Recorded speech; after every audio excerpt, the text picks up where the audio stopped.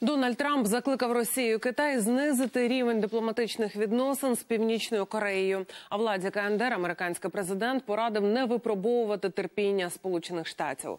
Зараз Трамп із візитом у Пекіні. Він вже зустрівся з лідером Китаю Сі Цзіньпіном. Раніше відвідав Японію і Південну Корею. На черзі В'єтнам. Там відбудеться форум азійського тихоокеанського економічного співробітництва. В МЗС Росії заявили, що, начебто, на полях саміту Трамп зустрінеться із президентом Федерації Путіним.